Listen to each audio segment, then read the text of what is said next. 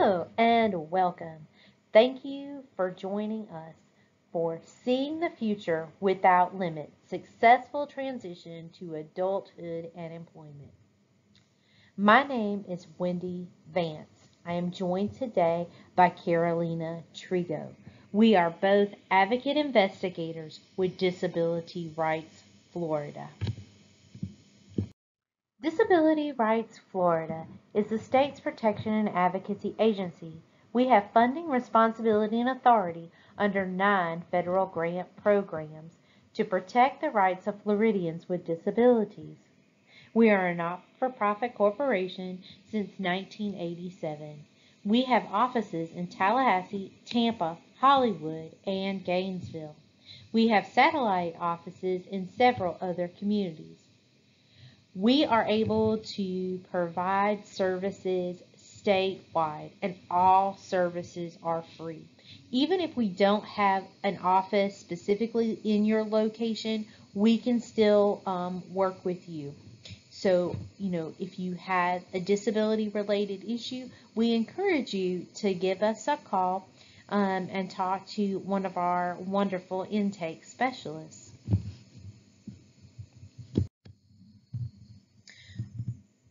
Our mission, Disability Rights Florida, advocates, educates, investigates, and litigates to protect and advance the rights, dignity, equal opportunity, and self-determination and choices of all people with disabilities.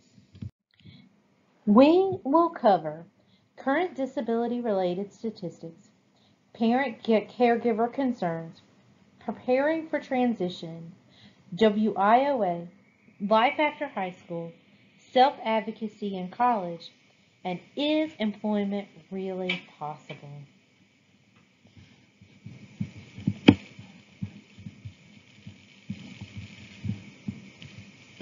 Important acronyms that we will cover today include IEP, Individualized Education Plan, TIEP, Transition IEP Plan, VR, Vocational Rehabilitation, WIOA, Workforce Innovation and Opportunity Act. IPE is an individualized plan for employment.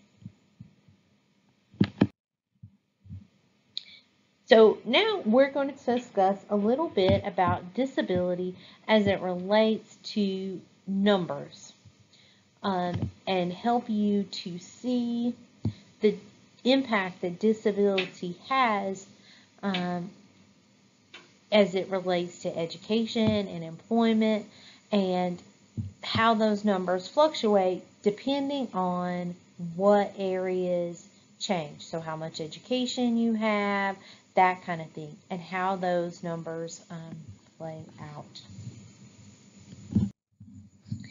The first thing that we want to cover today um, is the poverty guidelines. And yes, this chart is older. This is a poverty um, guideline that came to us um, from 2018.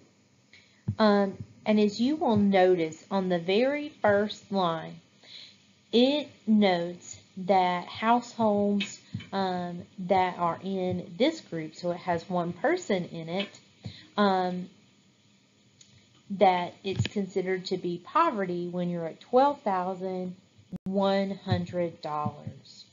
Okay, so right now, um, the amount of money that someone can receive from the SSI program, so the Social Security Supplemental Income Program, which is what happens most often when you don't have a, um, a work record. This is where you usually receive from.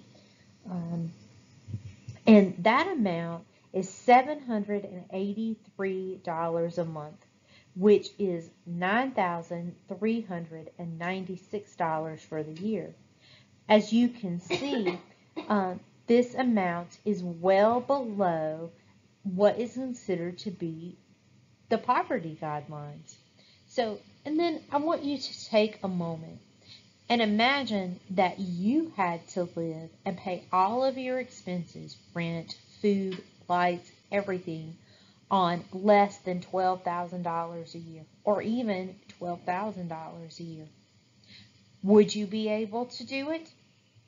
And so this is something that we need to think about um, when it comes to our youth and young adults with disability and how to give them a more stable and um, financially prosperous future so that they can, in fact, enjoy a lot of the things that you and I um, have every day and to make sure that they have a sustainable income that can provide um, for their needs. Employment statistics. The statistics that we're sharing with you today are based on a normal job market what it is when we are not involved in a global pandemic. So when there aren't other factors, um, you know, causing higher than normal unemployment. So that's the numbers that we're going to talk to you about today when we are in this normal um, sort of employment climate. So 32.6% of individuals with disabilities are working. 16% of individuals with developmental disabilities are working in the community. And so, what makes the difference in that number in who's employed, who's not employed? How do we increase that number? One study in 1998 by Wehmeyer and Schwartz um, found that self determination was a big factor in whether or not someone um, was employed. As a matter of fact, they found at that time that 80% of individuals who were highly self-determined were employed, and only 43% of those with low self-determination were working in paid positions at that time. So, you know, self-determination is making choices and having control over your own life. Making that choice. Do I want to work? Where do I want to work? Um, rather than being told you're going to work here or we don't think that you can work or whatnot. Instead, that person has the opportunity to make their own choices and to have control over their life, have control over how their money is spent and the choices that they make, who they associate with. So when you're highly self-determined, when you have a lot of ability to make those choices and not have people making those choices for you, you're more likely to be employed. So, of course, you know, we encourage self-determination and control over your own life and making those own your own um, choices and decisions um, for a number of reasons, but in part for work.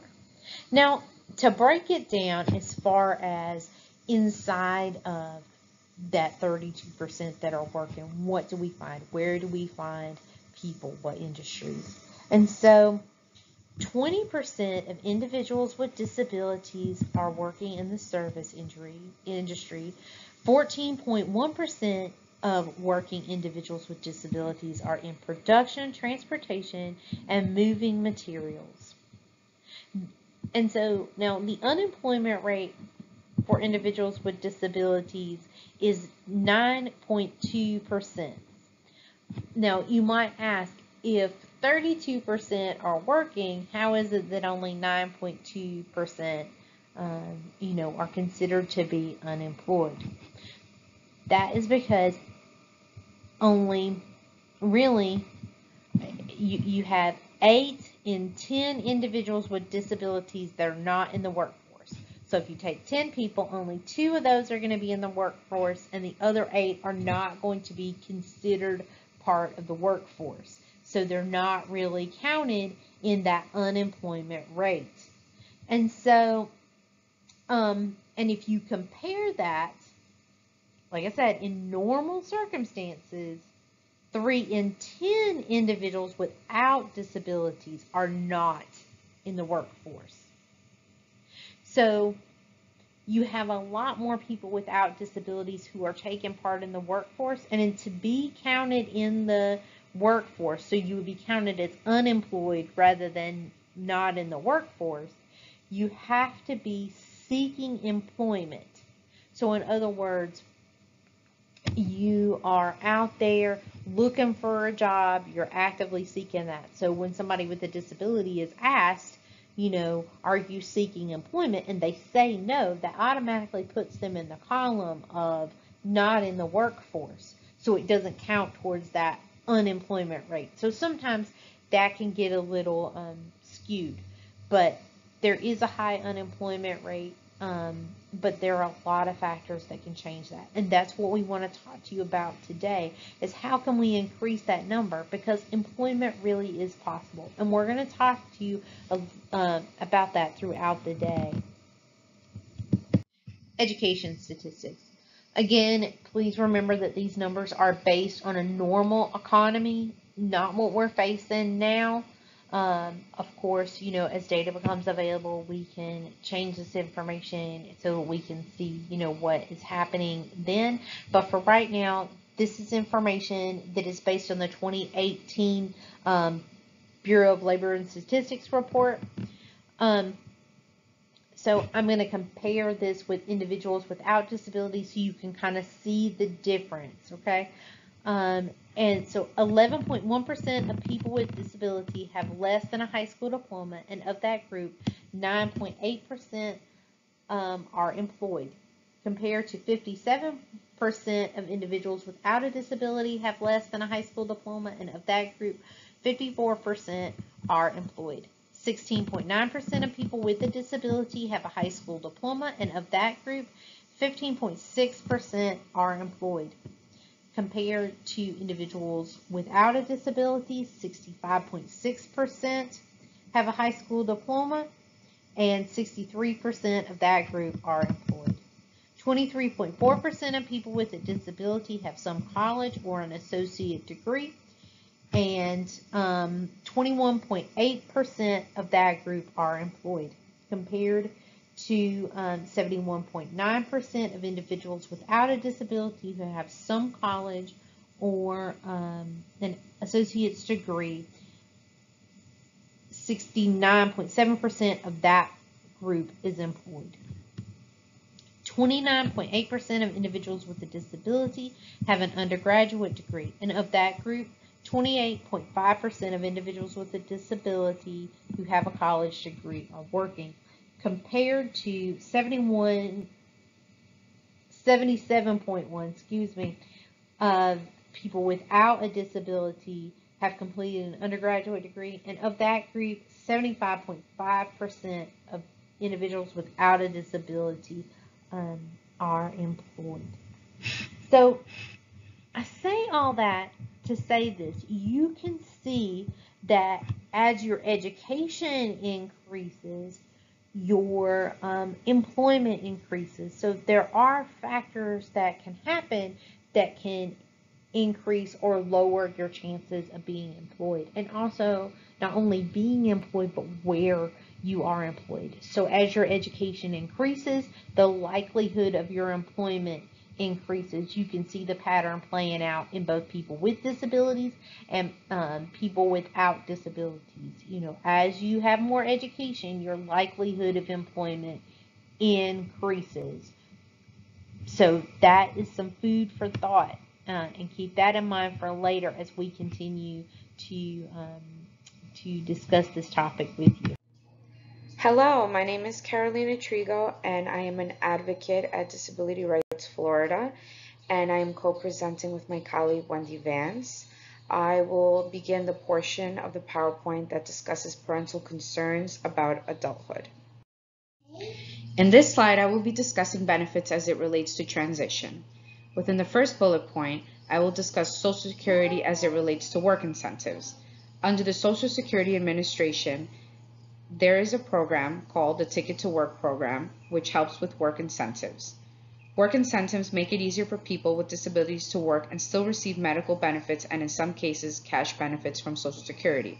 Work incentives can help you through the transition to work and financial independence. Work incentives and the Ticket to Work program make it possible for you to explore work while still receiving benefits. They are designed to help you succeed.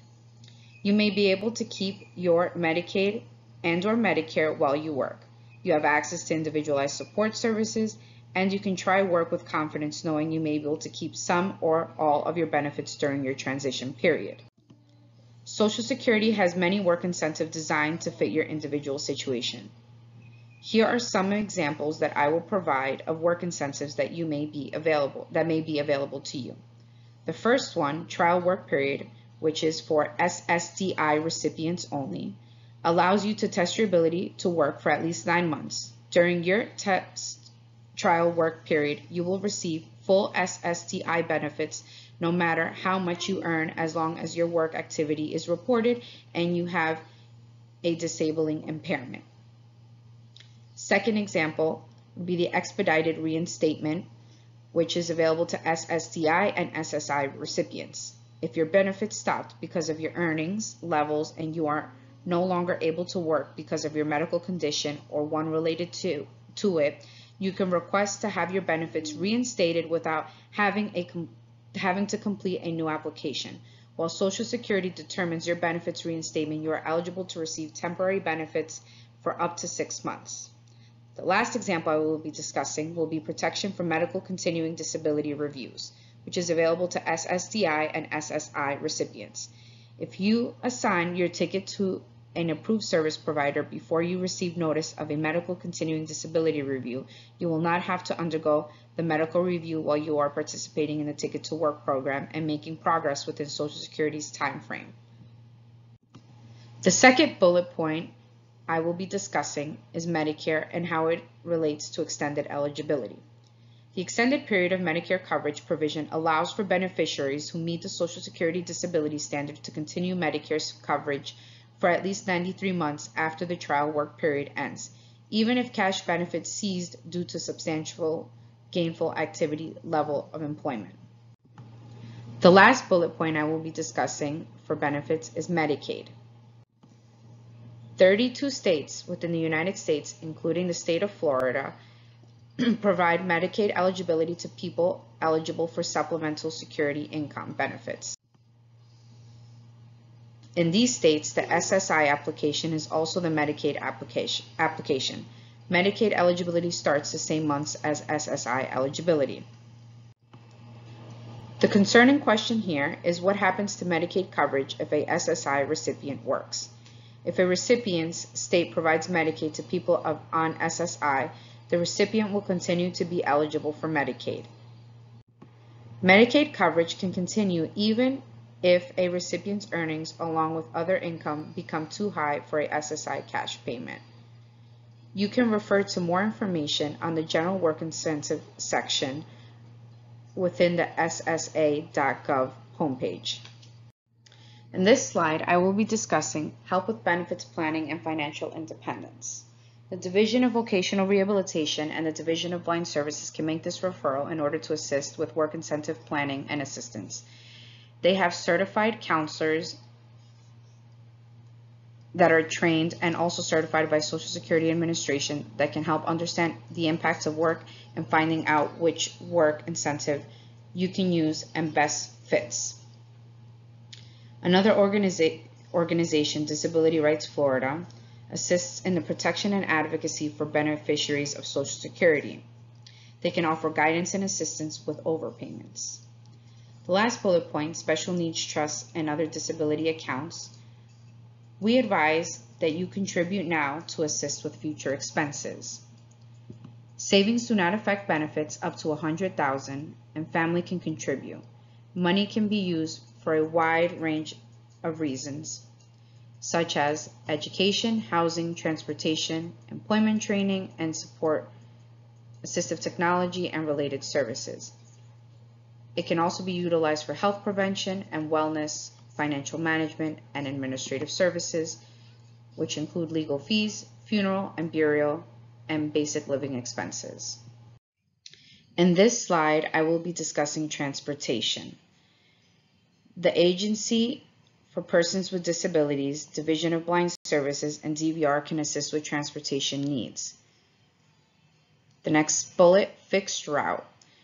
Fixed route can be offered through most public transportations, which is Services provided on a repetitive, fixed schedule basis along a specific route with vehicles stopping to pick up and deliver passengers to specific locations. Each fixed route trip serves the same origins and destin destinations such as rail and bus, unlike demand responsive and van pool services. The following bullet point discusses paratransit, which is types of passenger transportation which are more flexible than conventional fixed route transit, but more structured than the use of private automobiles. Paratransit includes demand responses, demand response transportation services, shared ride taxis, carpooling and van pooling, and jitney services. Emergency ride home most often refers to wheelchair accessible demand response services. Can also refer to backup transportation for qualifying emergencies such as illness or unscheduled overtime used up to four times per year. You must register with FDOT, Florida Department of Transportation. The next bullet point mentions taxi, which would be your local common taxi um, that you can contact. That varies on the area of the telephone number that that would be assigned. Um, the last bullet point, which is shared ride, I gave the examples of Uber and Lyft. A shared ride program, as defined by dictionary.com, as a car service with which a person can use a smartphone app to arrange a ride in a usually privately owned vehicle. Now with share ride on Uber or Lyft, you have the option of carpooling when you do request a service through the smartphone app or you can request that it would be a ride where it would where you would be only the passenger. The next slide that I will be addressing discusses parental concerns regarding integrated work settings. Three of the bullet points that I've highlighted. First one, concerns about safety in the workplace. The second one, concerns about fitting in or and or belonging. Last one, concern that their child cannot work in an integrated setting. In regards to these concerns, I do like to begin by addressing that segregated work creates opportunity for abuse, neglect, and exploitation. There is little government oversight or review is conducted for sheltered workshops. In the competitive workplace, workers have protections through a variety of labor laws which also provide for accommodations, allowing the workers to be more productive. Segregated work breeds isolation, often located in remote rural locations with limited access to transportation and limited opportunities to utilize social skills. Studies have shown that this isolation leads to a reduction in social skills and self-esteem. Another issue regarding sheltered employment, which interchangeably I am referring to as segregated employment, parents are often informed by trusted school staff and other service providers that their child is not capable of competitive employment. Therefore, they believe that this is true without further investigation. This creates what is known as the school to sheltered work pipeline. In this slide, I will be discussing how you can prepare for transition while still in high school. Where to begin? First and foremost, know your IEP. Does it have a transition plan? Does your IEP have supports and services to help you achieve your transition plan? It is important to note that you can begin discussing and exploring this as early as the age of 14 with your IEP team. It is equally important to also begin planning and discussing as soon as possible potential career interests, goals, general interests, and a general plan or want post-secondary. The school is obligated under WIOA to make the referral to vocational rehabilitation, and this can occur as early as 14. The second bullet point discusses diploma options. Under the standard diploma, a student with or without disabilities can receive either a merit or a scholar diploma. This differs depending on the extra or varied classes that are taken during high school. In essence, and the most important thing to keep in mind is that there is no more a special diploma. All students, regardless of receiving ESE services or within the general education curriculum work towards the same standard diploma in Florida. Lastly, the last bullet point I will be discussing is deferred standard diploma. Who can defer receipt of their standard diploma? Only a student whose IEP requires special education, transition planning, transition services, or related services through the age of 21 may defer receipt of the standard diploma. This decision needs to be made and discussed by the IEP team on or before May 15th of the year that the student is expected to graduate. The next slide I will be discussing is the Workforce Innovation and Opportunity Act. The Workforce Innovation and Opportunity Act, also known as WIOA, is a United States public law that replaced the previous Workforce Investment Act of 1998 as the primary federal workforce development legislation to bring about increased coordination among federal workforce development and related programs. The VR sections of WIOA are in effect. Key provisions of the Title IV Vocational Rehabilitation Program WIOA makes significant changes to programs authorized under the Rehabilitation Act of 73, Title IV, particularly to the VR program. This is one of the core programs administered by the Department of Education providing VR services to individuals with disabilities, including students and youth with disabilities. The program's specific final rule adheres to the following key goals.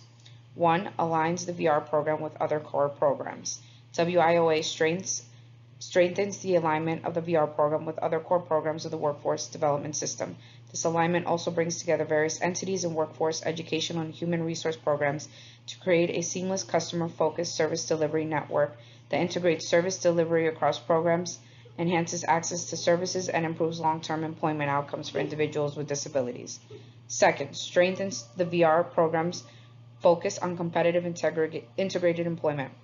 The guiding principle of the VR program is the individual with disabilities, including those with the most significant disabilities, are capable of achieving high quality, competitive integrated employment when provided the necessary services and supports. To increase the employment of the individuals with disabilities in the competitive integrated labor market, the workforce system must provide individuals with disabilities opportunities to participate in job-driven training and pursue high quality employment outcomes. The VR program enhances access to services including VR services for individuals with disabilities seeking or continuing employment at sub-minimum wages and entities holding special wage certificates under Section 14C of the Fair Labor Standards Act, enabling them to achieve competitive integrated employment. Last one expands VR services to students and youth with disabilities. WIOA ensures that students and youth with disabilities have meaningful opportunities to receive the VR services they need to achieve competitive and integrated employment. WIOA amends the VR program to expand not only the population of students with disabilities who may receive VR services, but also the breadth of services that the VR agencies may provide to youth and students with disabilities who are transitioning from school to post-secondary education and employment. Under WIOA, the VR program strengthens coordination between VR agencies and local education agencies in the provision of transition services provided under the Individual with Disabilities Education Act and the provision of pre-employment transition services to students with disabilities under the VR program. Lastly, third bullet point, each VR office must also work with local schools and workforce development programs to ensure their appropriate involvement in transition-related services. In this slide, I will be discussing Transition IEP. It can begin as a, at age 14 or earlier if deemed appropriate. Results are oriented, focusing on academic and functional achievement, designated to facilitate movement from school to post-school activities, and also spells out all the students' unique educational needs, supports and related services, which agencies or individuals will provide services, and who will pay for them. Program accommodations, modifications, and supports to help the student reach their goals, whether there is a need for technology or assistive device, and which agency will supply these. Transition planning can begin earlier if necessary. If you need to begin your transition plan early, for instance 14, you can begin transition planning earlier than 16. Each transition plan should cover the youth's goals and all the support and services that the young person with a disability will need to prepare for the fullest possible life as an adult. The team should discuss how the student learns, how much they can learn, how they can provide what they've learned, and how they can use that information as adults. They also need adults to understand what skills they will need to live in the community and plan for how those skills will be acquired. If the education system, vocational rehabilitation agencies, and private and government social services can provide a service or support and the person covered by the plan needs it, the plan should show the way to get it. For instance, what is the student's desired post-school outcome? What type of work does the student want to do? And what type of training supports or services are needed to prepare the student for that work? What type of job training will the student need in the classroom, community, or both? Are any post-secondary accommodations needed? Are any evaluations needed to support requests for post-secondary accommodations? Are there any life skills the school, uh, any life skills the student has yet to learn? For instance, organization, communication, daily living, transportation, and socialization.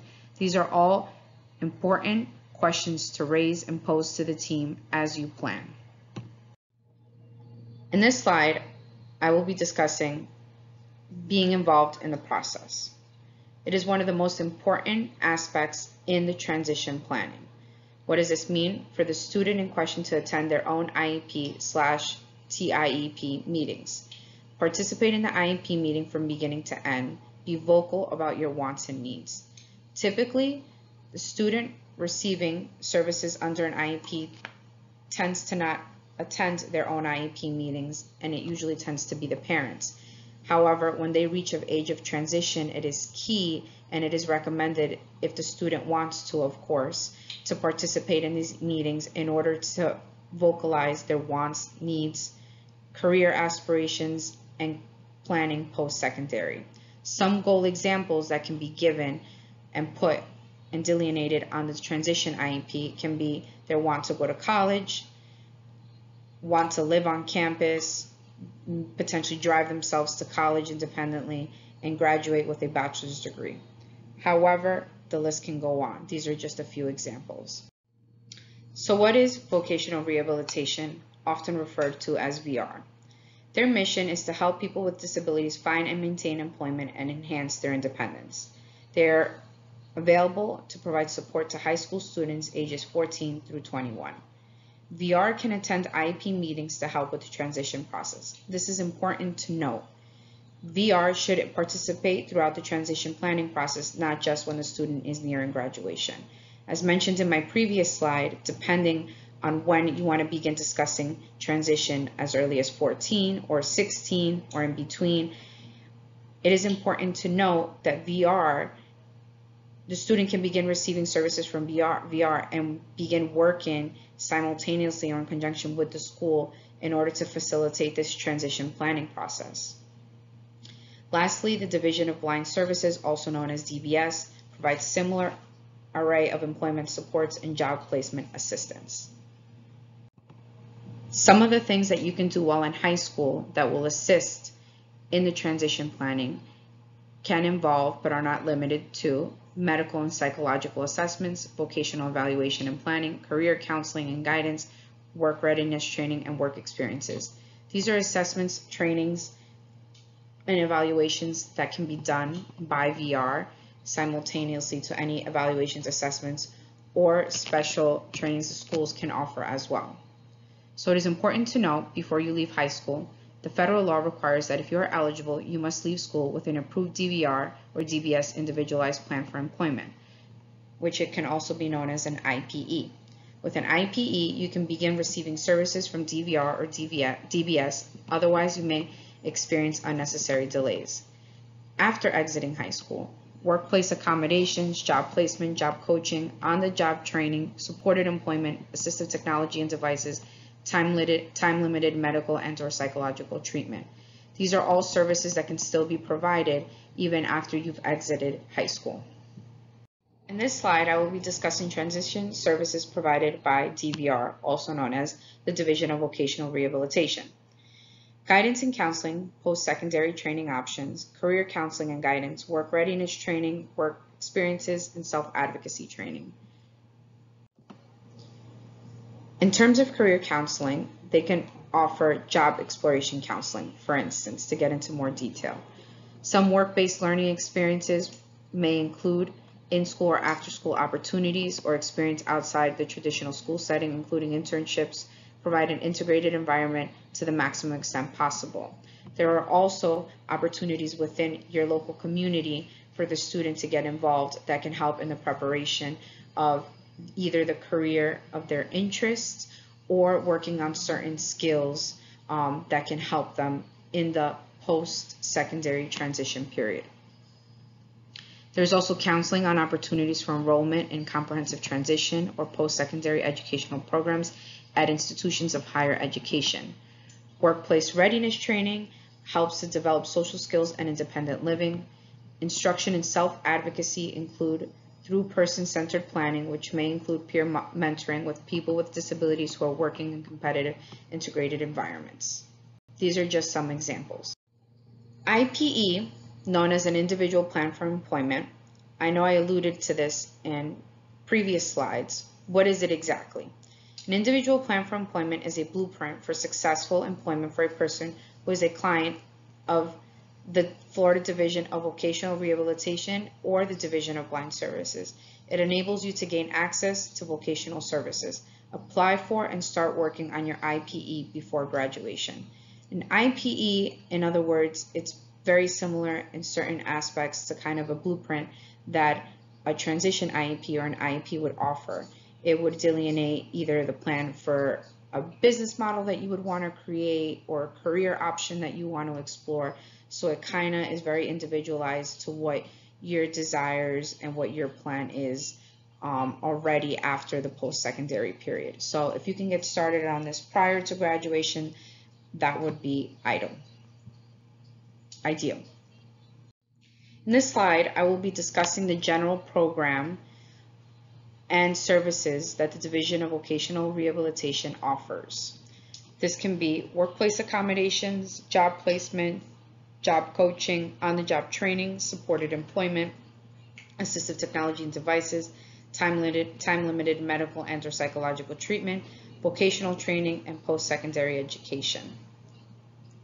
In this slide, I will go into a little bit more detail of how you can begin developing your IPE, also known as your individual plan for employment. The IPE should state your employment goal and the services you will need to achieve it. Should be a, it should be a very specific goal. Should list in detail the services that you are needed and who will pay for them. For example, will you require further education, transportation needs, mental health therapy, medical treatment, technology that you would need, etc. State responsibilities for the student, VR, and third-party agencies. In this slide, I will be discussing the Client Assistance Program. Disability Rights Florida, our organization, administers the CAP in a manner that empowers people with disabilities to fully understand and exercise their rights to services.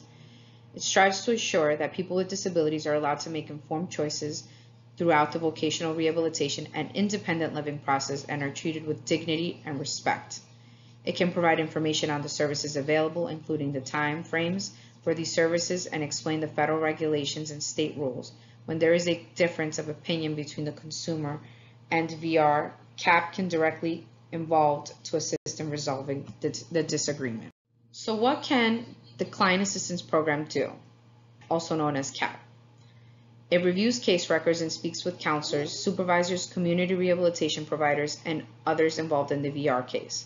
It provides advocacy services to the client, helps to develop strategies to resolve disagreements through negotiation, represents clients at mediations or fair hearings, provides information on Title I of the American with Disabilities Act, also known as ADA, provides support and assistance to consumers so they may advocate for themselves.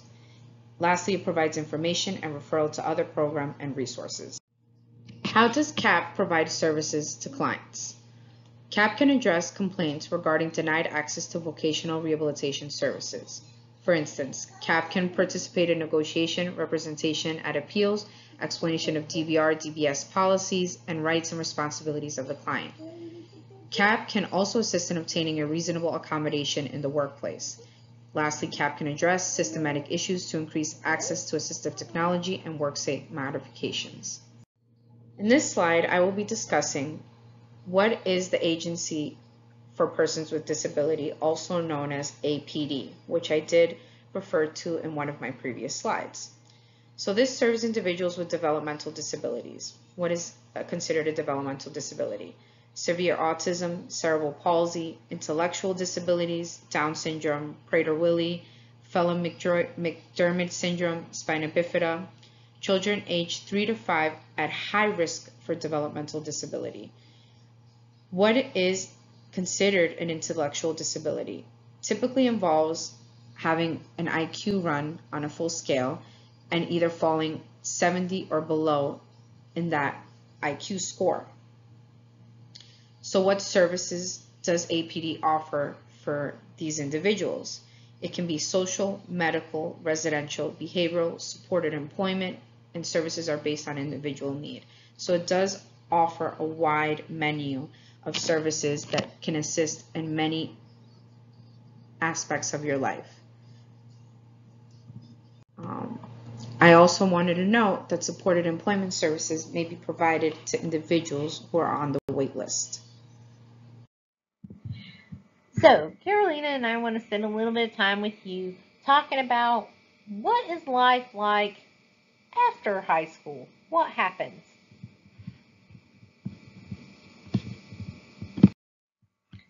Training.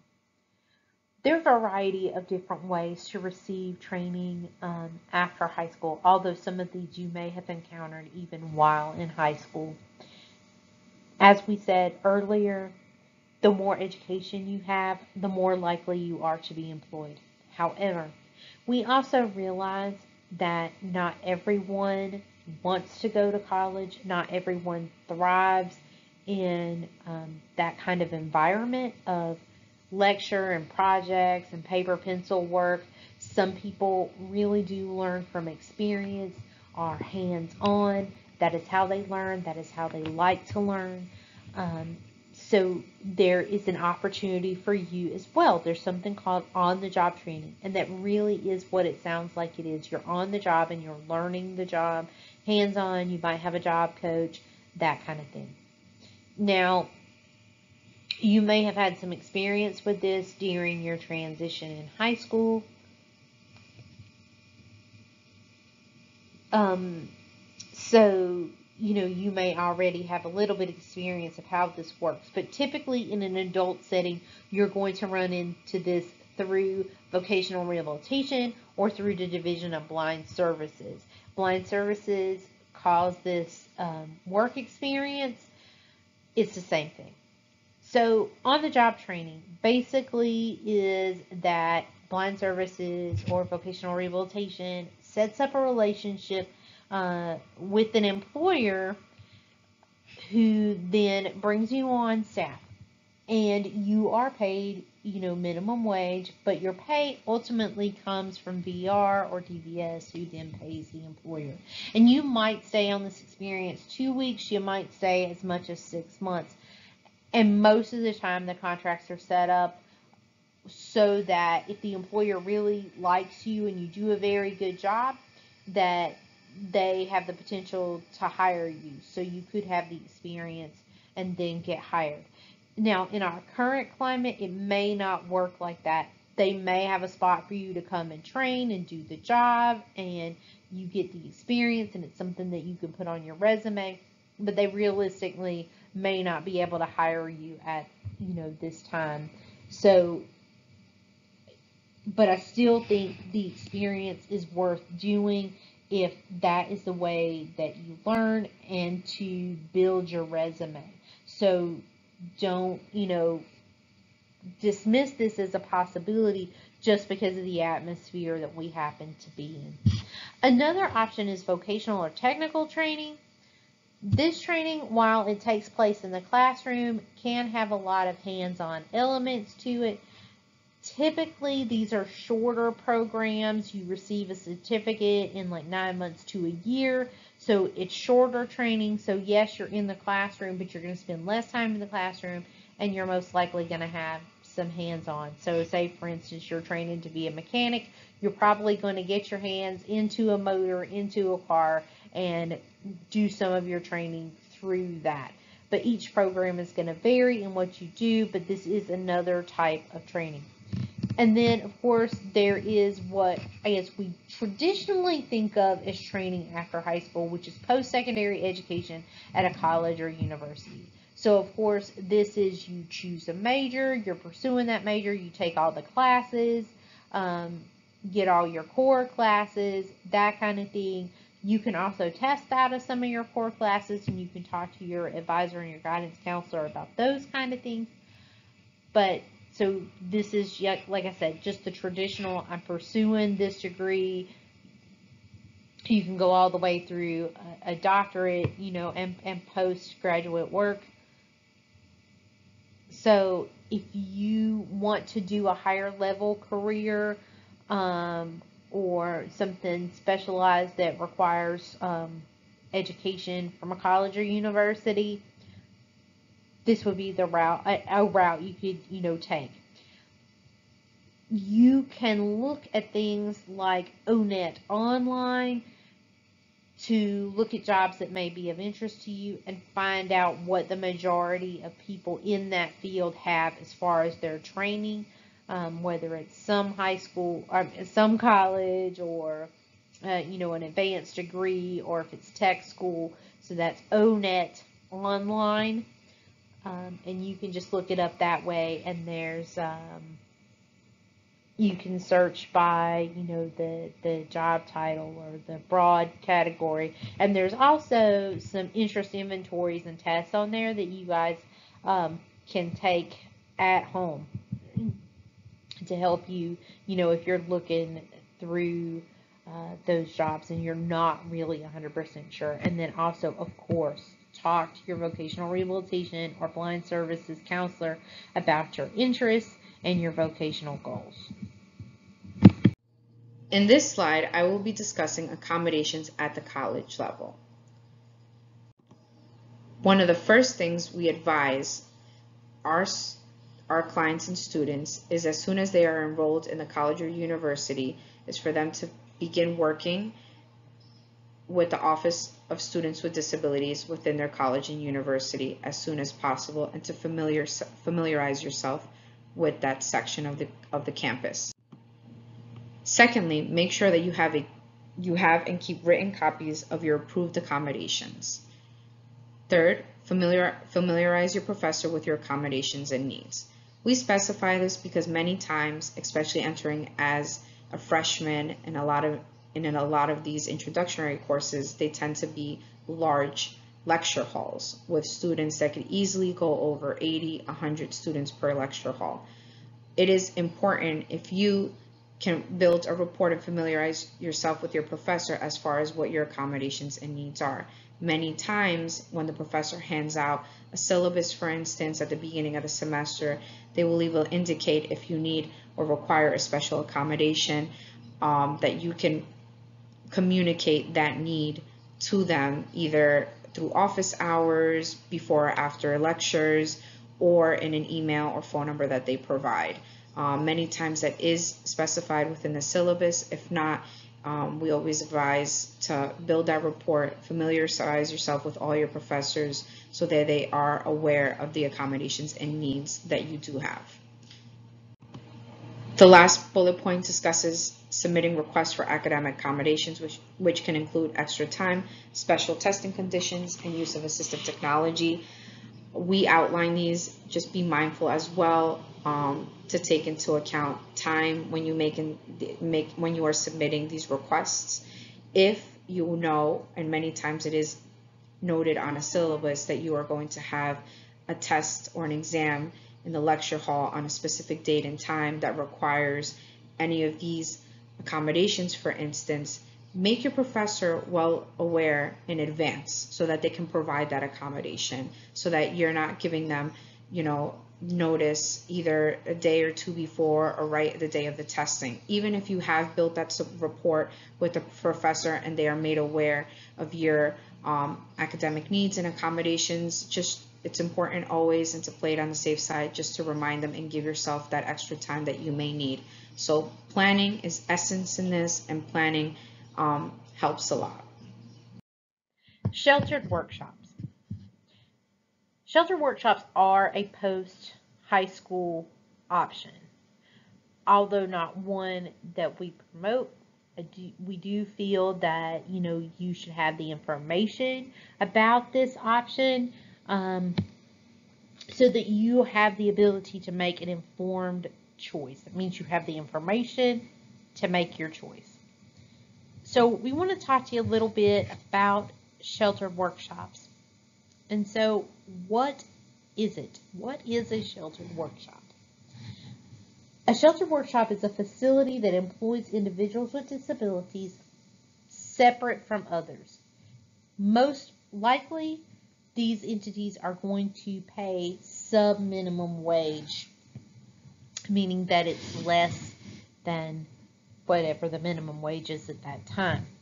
And so, what are the concerns about working at a sheltered workshop? I mean, you know, it's sheltered. Shelter sounds like a good thing, right? So, first of all, sub minimum wage are paid to workers in these facilities. So, they also have limited access to healthcare benefits. There's a large salary gap between workers and management there's limited contact with those without disabilities and little to no opportunity to advance in these facilities. So I just want to share a little bit again by the numbers. Um, so sheltered workshops employ roughly around 321,131 individuals across the country. And then I want to talk to you a little bit about, uh, you know, like I said, the sub minimum wage and the salary gap between um, individuals with disabilities and the people who manage and run these facilities. One facility in Gainesville, and all of this uh, comes from one of the resources in the back of the presentation called Segregated Employment and, and Exploited. I highly recommend it as a read um, if you have the time to go through it. And also check out um, a, a, film called Bottom Dollars, also very excellent, and it's one of the resources in the back here. But so back to the numbers. One facility in Gainesville um, was found to have listed in their certificate application to pay workers, this is the certificate that they need to pay that sub minimum wage. Uh, they they were found to pay workers between one dollar and two dollars per hour. And then in other locations, other facilities around the country, there have been wages found as low as seven cents an hour. And um, in some workshops, you remember there's some paying a dollar, two dollars, seven cent an hour. Some workshops, um, their CEOs make, um, you know, between three hundred and sixty thousand to a million dollars a year. And the workshop itself, you know, sometimes make between 105 million to 205 million a year. So, you know, you've got companies bringing in hundreds of millions of dollars and then, you know, paying the workers these sub minimum wages. So that's something to think about as you know, you're looking at this as an option. And then as far as healthcare is concerned, you know, because I said access to healthcare benefits are limited, one vocational rehabilitation study found that only 12% of sheltered workers had access to health care benefits. So that's not a large population that have access to health care benefits. Yes, you may have access to health care benefits through Medicare or Medicaid, and that is great. But as far as employer paid health care benefits, not a lot of workers you know, have access to that um, benefit. The other thing that I want to highlight for a, a moment is the fact that um, these facilities do have limited contact with people without disabilities. So the people that you're in contact with most of the day have disabilities. You're not getting that opportunity like you did in high school to have contact with your non-disabled peers. A lot of times they're in far away places, segregated from the community, and you know, unfortunately, that can lead to some neglect or abuse um, within those facilities because you are you know, far away from the community. So those are all things to think about. We're not at all saying that every sheltered workshop is like this. And, you know, if you're interested in a facility, we would encourage you to do your work, uh, your homework before decided to sign up with that facility. But no, we are not making a blanket um, statement that all sheltered workshops are bad or commit abuse or anything like that. We're just saying that the possibility exists that this could happen because of the kind of environment that it is. And again, encourage you to do that homework um, and also encourage you to look at the resources and the finances that you have available before making um, this choice. And also know that because of um, regulations such as WIOA, in order to make this choice, you're going to first have to become a VR client and let them, um, you know, fully and thoroughly assess you to make sure that there is no other work that you can do so that you can get a certificate to take to one of these facilities to show that, you know, this is that, that, you know, you, you were not able to work in a competitive um, setting. So, those are some things to think about. Yes, it is available, but we encourage you to do your research before, you know, making making this choice.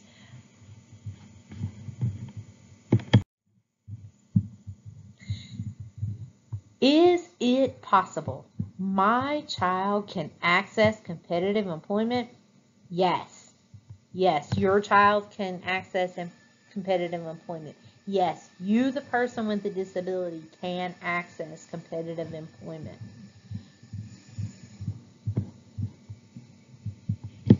Accessing employment. You can access employment in a variety of different ways.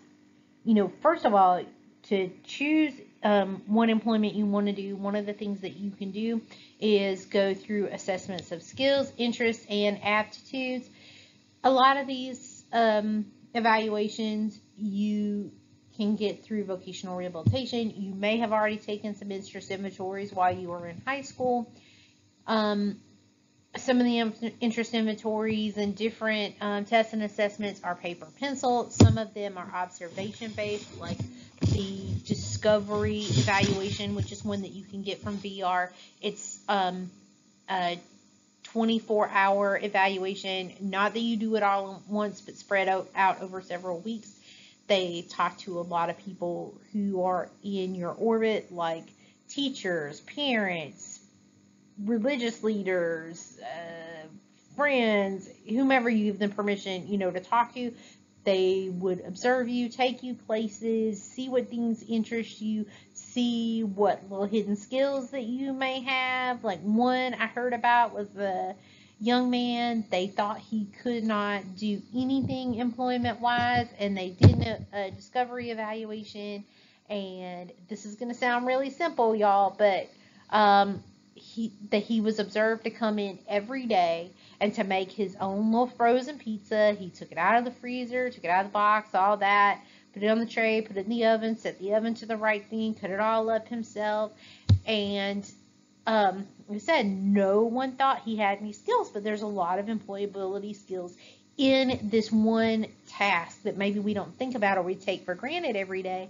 And so they took that and he is now, he now works at a pizza place, cutting pizzas and boxing pizzas and that kind of thing. So what they thought he could not do anything and he could do something even you know even a simple thing. But it's it's a lot when you thought you couldn't do anything and now you can have a pay job. So that's one um, to, to think about. Um, accommodations we discussed accommodations before, but I want to discuss them again really quickly. These are some examples of accommodations that you could have. Um, and remember, an employer with over 15 employees, um, you know, is supposed to provide uh, accommodations if you request them. Um, and you can check out um, the Job Accommodation Network. Their website has uh, you can look up your disability and common accommodations provided. You can also call them and talk to them about your situation and what accommodation um, you know you might need. They may can recommend some things, that kind of thing. Um, also, if you're having difficulty with your employer trying to get accommodations, you can also call Disability Rights Florida and we may be able to help you with that interactive process with your employer to get to the accommodation you need. Remember that the accommodation does not have to be the most expensive option, but rather it must meet your needs. So, some examples are flexible schedules, simple devices, assistive technology. Um, Another employment option is supported employment. This is where basically you have a job coach there with you and they're with you more in the beginning and then they phase out over time. Um, so they might be there with you every day, all day in the beginning, and over time, maybe it's two days a week and then one day a week, and then maybe they just stop by every once in a while to see how you're doing. VR um, is going to end those services after a certain amount of time. And then, you know, other services like APD, Agency for Persons with Disabilities, may be able to come in and provide you with a job coach.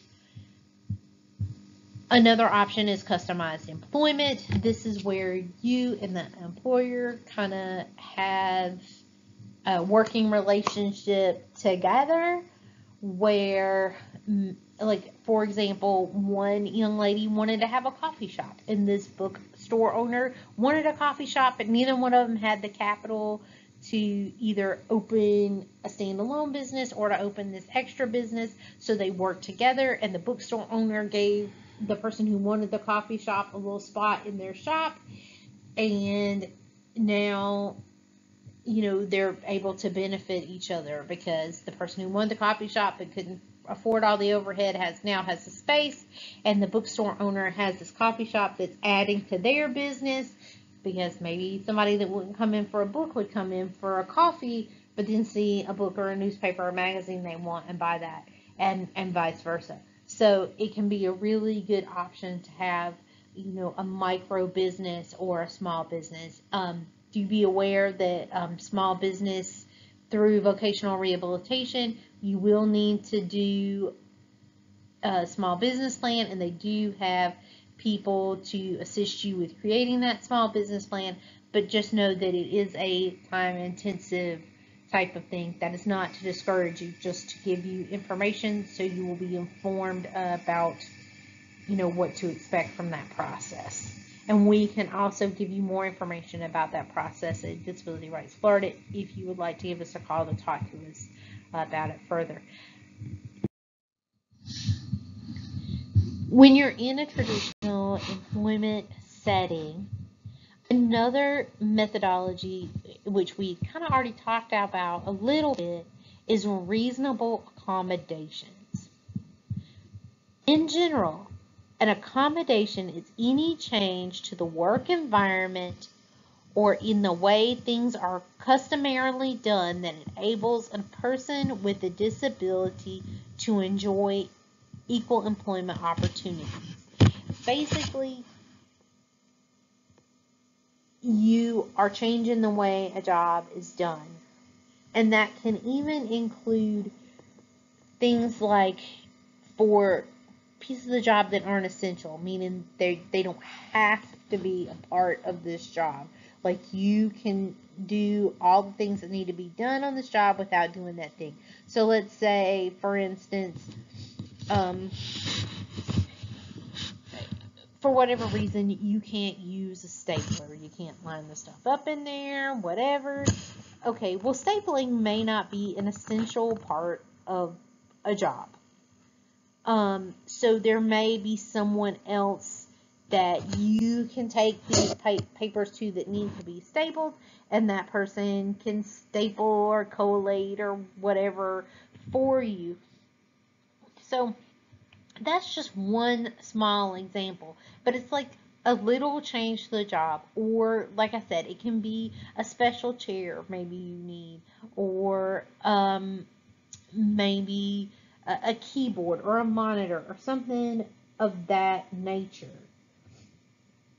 And keep in mind that like 71% of accommodations cost $500 or less with 20% of those um, accommodations costing zero dollars. So, I mean, accommodations do not have to be fancy. They do not have to be a Cadillac. You can have an accommodation truly that is as simple as a rubber band. A rubber band can be an accommodation. Let's say you need to remember which bottle is something and you can't see it. Like shampoo and conditioner will say. I know you're not going to have that on the job, but just you can translate this into that. But all right, so you need to know the difference. You wrap the rubber band around the conditioner, and so the one without the rubber band is the shampoo.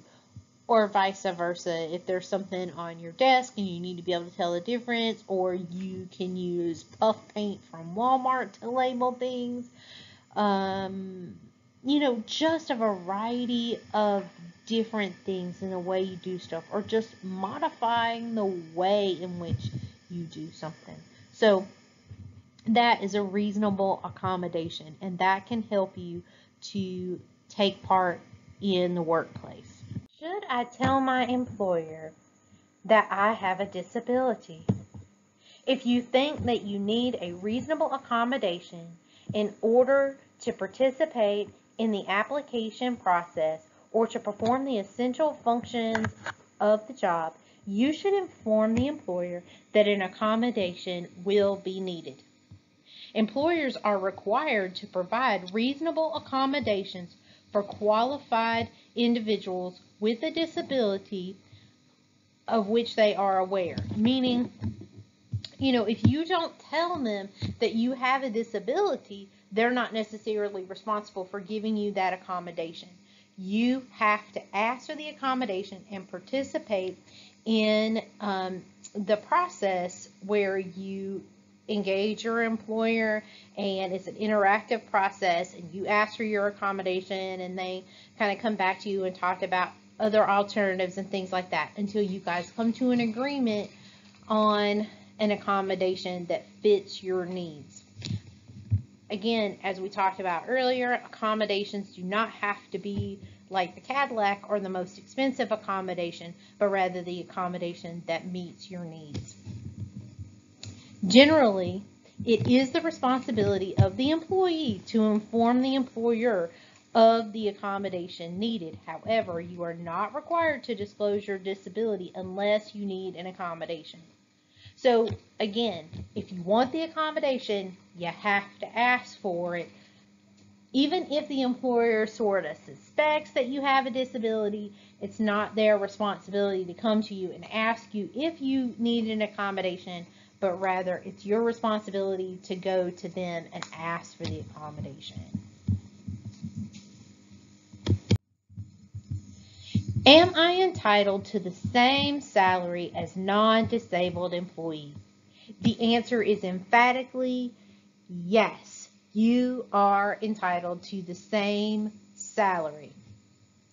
An employer cannot make up the cost of providing a reasonable accommodation by lowering your salary or paying you less than other employees in similar positions. Now, granted, if your role is janitor, no, you do not have to make the same salary as the CEO, but you do have to make the same salary as other janitors. So they can't pay one janitor I think it's 805 an hour and then pay you say $5 an hour or pay, you know, I mean with the exception like if um James the janitor has been there since dirt. He's been there like 40 years and working. he is most likely going to make more than you, but it's more because of the time that he has put in the raises that he has potentially got over his time. You might start at minimum wage, but that is still um, acceptable. But still, they have to pay you the same amount as um, your non-disabled peers in the same position. Changes in the definition of supported employment. Uh, due to WIOA, there's been a few changes, but we kind of covered them earlier, so I'm just going to read over this slide and maybe give you a little commentary, but must be in a competitive integrated setting, meaning you must be in a position that say someone else could apply for on like Indeed or Monster or whatever they're using, and it has to be with your non-disabled peers.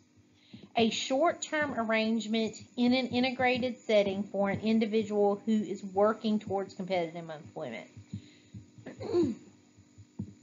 so, you know, like an on-the-job training where you've been placed there and it's maybe not necessarily something that somebody else would apply for, um, but it's still in a setting with your non-disabled peers.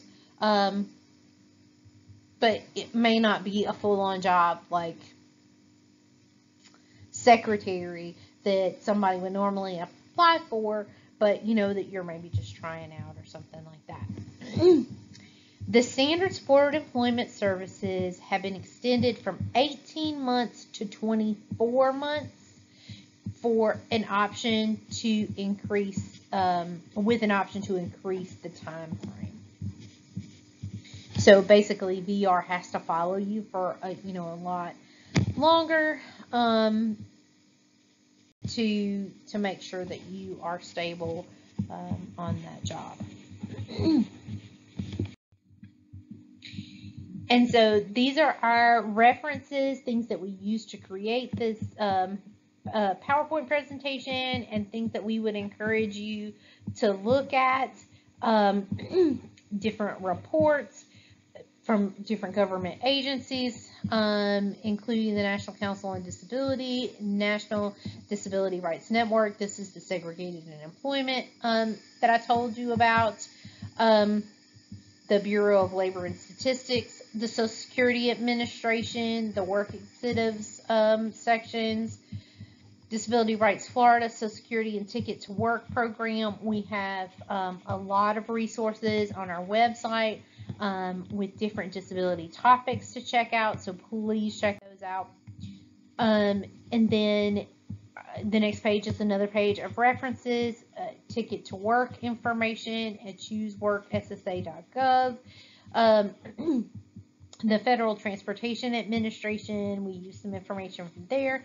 The Florida Department of Transportation, Agency for Persons with Disabilities, the Florida Department of Education, technical assistance paper on high school graduation options, and Rooted in Rights, bottom dollars video. And this is a video I told you about earlier that's related to sheltered workshops, and the link uh, to the movie is right there for you to have an opportunity to watch that. And I, like I said, we really encourage you to have a peek at that as you're learning about your um, post high school.